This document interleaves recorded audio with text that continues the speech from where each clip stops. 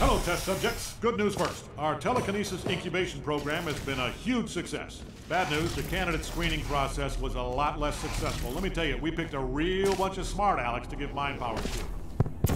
Hey, stop blowing up heads. Actually, you know what? Negotiation's over. I'd like you all to meet Terry.